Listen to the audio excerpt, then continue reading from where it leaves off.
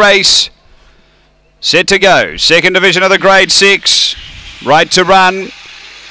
And away, great off the inside. Peppy Star's going to drive and lead early. Shout burrowing up to second, but three off the leader who gets away. Uh, then came Mersey Ferry behind those surfing Simo. Then Kind Girl, Stone Buster, Salute Bianca, and Hot Angie straightening though. Peppy Star clear of Shout, and Peppy Star stretched off for a good win.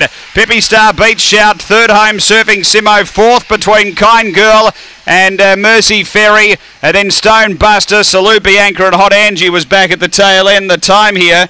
It's around 18 and 10 after the running of race number four.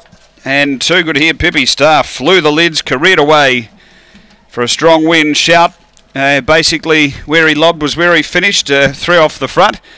It's one, two, four the numbers. Pippi Star, Matthew Payne, Hot Pies for the Todd uh, T. Kelly, a red fawn and white bitch, February 2015. Dinah Lachlan, not a star.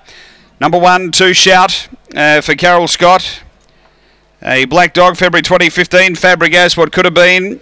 And third to four, Surfing Simo, Tony Rasmussen, a light brindle dog. April 2015.